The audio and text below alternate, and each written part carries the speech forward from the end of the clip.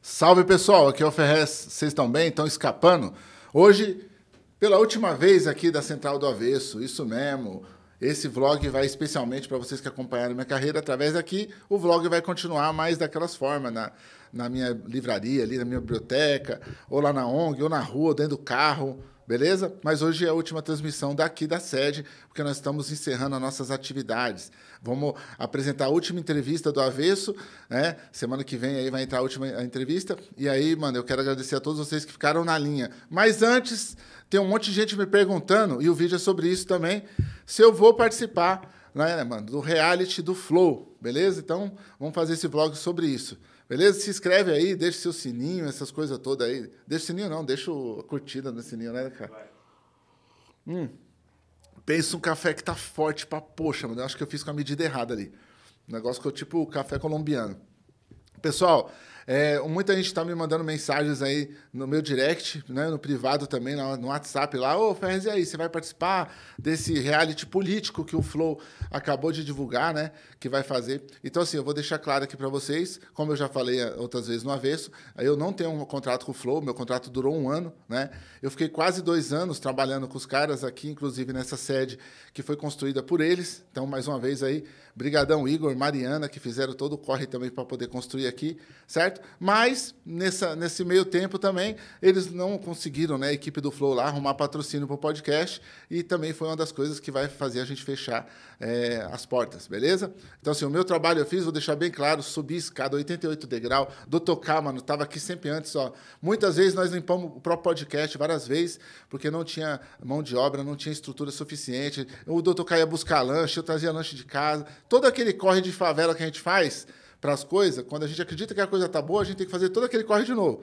Todo esse corre nós fizemos, tá ligado? Mas o barato não deu. E sobre o reality, quando eu estava lá na estrutura do Flow, eles me procuraram logo com essa ideia, né, mano, que eles estavam do reality, trocaram ideia comigo, falaram as pessoas que vão, que vão estar até então, já tinham os três, quatro confirmados, e eu já falei que não podia, mano, certo?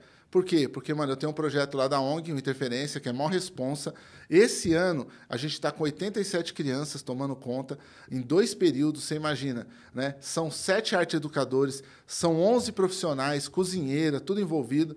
Tem o Indústria 262, que é meu escritório em Tapicirica, que tem é, a, a, editora Comic Zone, que tem a Porco Ovelha, que é a empresa de boneco lá, que eu inventei de fazer, que acabamos de lançar o Capiroto aí, o demônio do The Troops of Doom. Ou seja, eu tenho todo um trabalho aqui na, na quebrada estrutural para fazer, mano. Tanto de gestão né, da Onda Sul, do interferência, de tudo que a gente inventa aqui, né, como de cuidar das pessoas mesmo, o, o trabalho social. Então não tem como fazer. Então falei para eles logo no começo que agradeci o convite e tal, mas a gente teve umas reuniões ainda para os caras achou que um ponto de vista que nem o meu era importante nesse reality é, e não não só o ponto de vista, mas o jeito mesmo que a gente vive, sabe? Porque muito mais que falar, pessoal, é você né, na prática, né? Vocês viram que vocês assistiram vários reality, reality aí é, global, essas coisas, que, mano, lá do BBB, que o cara era, parecia ser da hora e o cara é mó vacilão. A mina parecia ser da hora e mó vacilão no dia a dia. Não lava um prato, não, não serve o parceiro do lado, sabe? É preconceituoso com as coisas. Então, enfim. E eu acho que esses baratos também acabam desmascarando um pouco as pessoas, mas também acho que se cria armadilhas para poder essas pessoas caírem ali em defeitos que são nossos do dia a dia. Nenhum de nós está isento de defeito. Então, esse reality, como ele vai ser político, ele também pode dar várias tretas políticas lá dentro. Né? E eu não estou afim de me desgastar, não é a minha, eu sou escritor acima de tudo. Tenho meu caderninho aqui com meus escritos que eu vivo fazendo meus textos. Estou né? com o lançamento do Manual Prático do Ódio para acontecer agora em dezembro.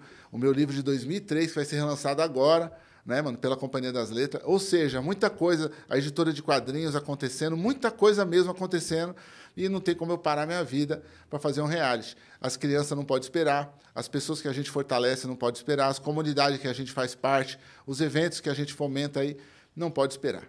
Beleza? Então, não vou fazer parte, certo? Acho lindo, legal para quem quer ir. Boa sorte.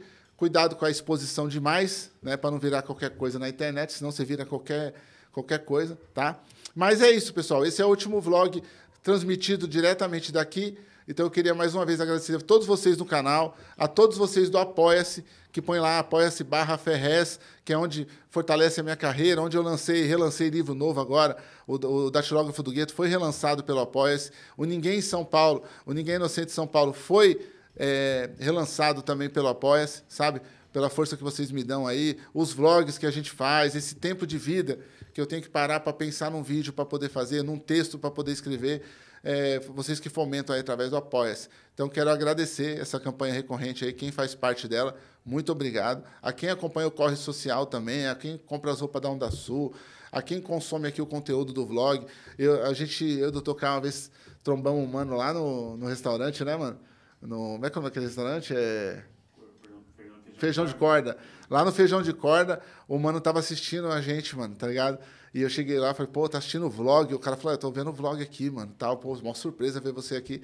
Então você vê que é um povo da rua mesmo, que está no carro, que está às vezes em cima de uma moto, para a moto um pouquinho no horário do almoço para assistir. E eu sei que a gente tem essa legitimidade com vocês. Beleza, pessoal? Então eu sou sempre honesto, transparente e não podia deixar um projeto para lá. Ou a gente, a gente começou barato, a gente tem que finalizar o barato entendeu? Então eu não tenho energia mais para tocar um projeto que eu tenho que ir atrás de captação, que eu tenho que ficar pedindo para os outras coisas, sendo que eu já peço pelas crianças, mano. Tá ligado? Pelas crianças, mano, eu vou lá, pego as doação, carrego no meu carro. Hoje mesmo fui no bazar descarregar o carro, cheio de doação. Onde eu vou, alguém me dá uma sacola de doação. Da hora, mano, é pelas crianças. Mas pro podcast eu não sou especialista nisso, mano.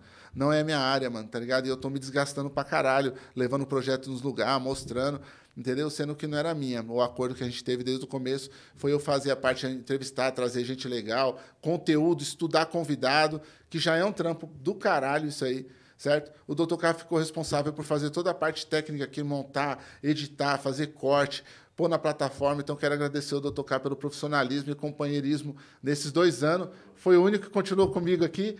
A todos que passaram também, muito obrigado por aqui. Os convidados, né, que passou também, tanto no avesso como aqui no vlog, que a gente também pôs no meu canal aí alguns convidados também, como o Mutarelli e outros caras, né? Pusemos no canal também. E é isso, pessoal. Não fiquem com, com, com pena, nada desse barato, que eu sou milhão, eu sou mil grau, eu vou inventar outro barato mais para frente. Entendeu? A mente é inquieta. A mente é inquieta porque a chavinha da dor dos outros fica virando na minha mente. Eu não sou um cara acomodado, tá ligado? E eu não consigo ser nem acomodado com a minha situação, porque a minha já dava para me acomodar. Mas eu vejo pelo outro, eu acho que tem que fazer os baratos. Entendeu? Então não se comova, não fica chateado ou chateada, fica de boa, porque logo mais nós vai tocar o vlog, nós vamos tocando as outras coisas. Eu só não posso fechar uma ONG para tocar um podcast tá ligado? Só não posso fechar um projeto que cuida de vidas, de, da boca das pessoas, para cuidar do cérebro, que também é importante, né? Tá bom? Mas quero agradecer vocês, mano. É nós.